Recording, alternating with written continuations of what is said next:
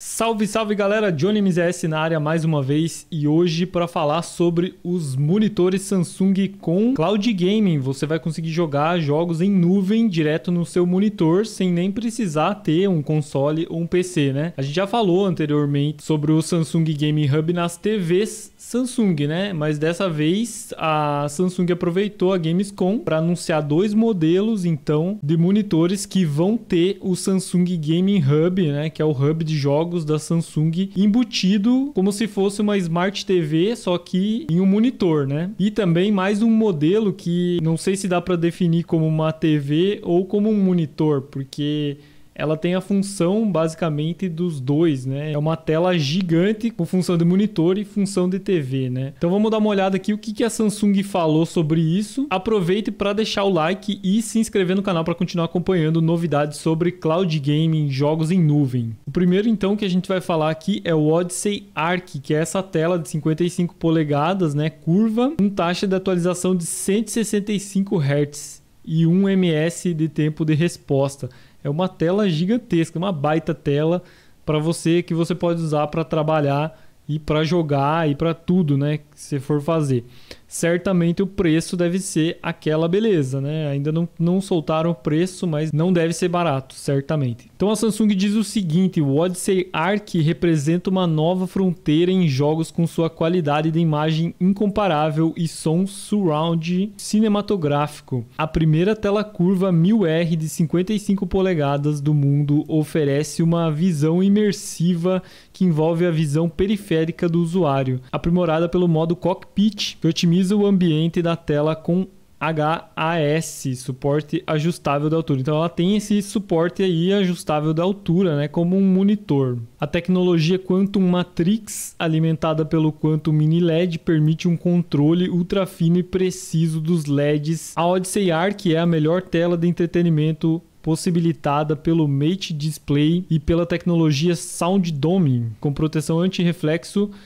os usuários podem assistir, trabalhar e jogar sem distrações enquanto se cercam de som cinematográfico transmitido por quatro alto-falantes em cada canto e dois woofers centrais. Aí também eles falam da taxa de atualização que a gente comentou, então são 165 Hz e o tempo de resposta de 1 ms para uma TV, né? Pelo menos eu nunca vi isso em uma TV, TV com 165 Hz e o tempo de resposta de 1 ms. E aqui a parte mais importante então que eles falam que a Odyssey Arc oferece o Samsung Gaming Hub, né, que é a plataforma de descoberta de streaming de jogos, tudo em um, onde jogadores podem descobrir os jogos que adoram sem downloads ou requisitos de espaço de armazenamento. Né? Então você vai poder jogar aí no xCloud, no GeForce Now, fora do Brasil ainda dá para jogar também no Stadia e no Amazon Luna.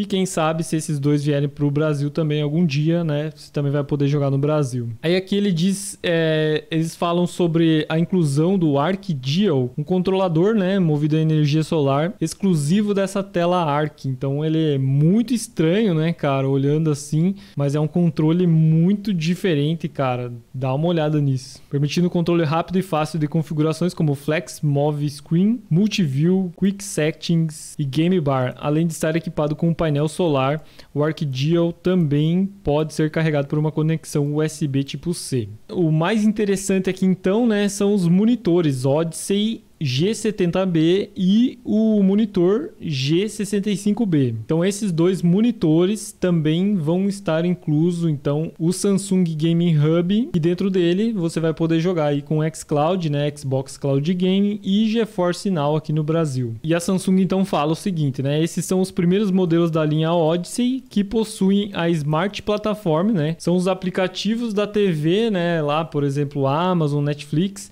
que você vai ter dentro do seu monitor, embutido, né?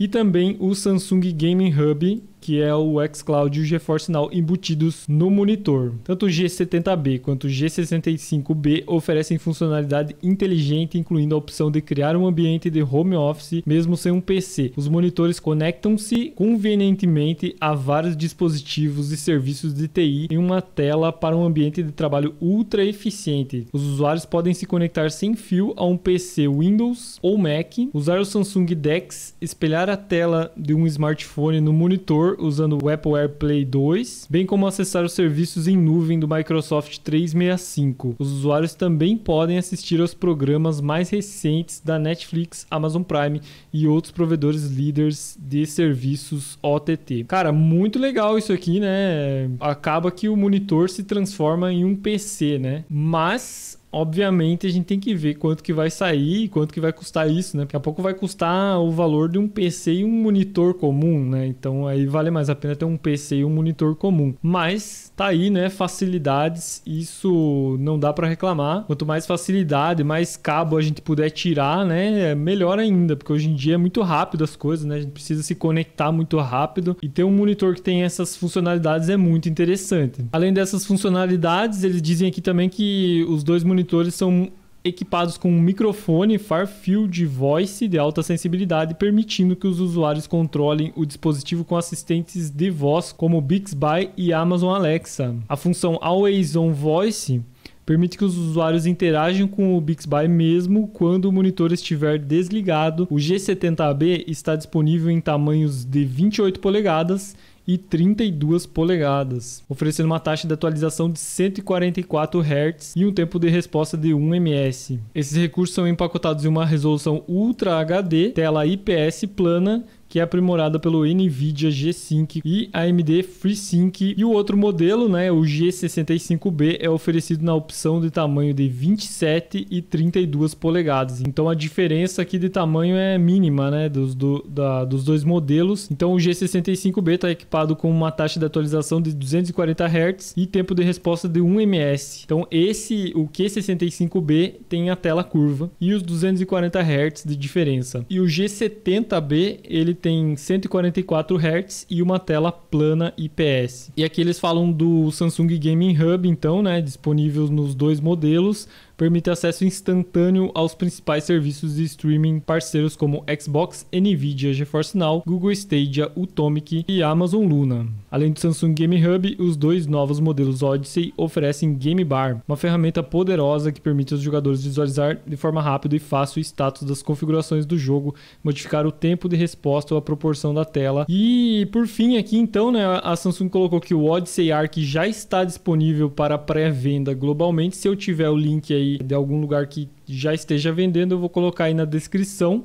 E os outros dois modelos estarão disponíveis globalmente a partir do quarto trimestre, né? Lá para o final do ano, então. Eu vou deixar também o link na descrição dos modelos de TV compatível com o Samsung Gaming Hub, né? Que a gente falou aí mês passado quando foi liberado pela Samsung. Lá tem os vídeos que a gente fez de teste, tem os modelos compatíveis, tem controle compatível e eu vou atualizar também esse link do blog com esses dois modelos, esses três modelos aqui da Samsung também, para já ficar lá para vocês poderem consultar aí quando vocês quiserem quiserem, salva o link, manda para os amigos, né? Para vocês ter também sempre os modelos, saber caso algum dia vocês queiram comprar, vocês já sabem qual modelo tem. Queria saber de vocês aí o que, que vocês acharam desses modelos de monitor com Samsung Gaming Hub embutido, né? Deixa aí nos comentários. Se inscreve no canal para continuar acompanhando, deixa o like no vídeo para dar aquela fortalecida. Valeu e até a próxima.